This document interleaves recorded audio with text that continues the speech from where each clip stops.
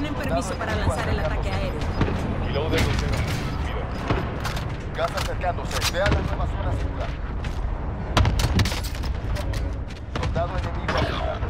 Ataque de racimo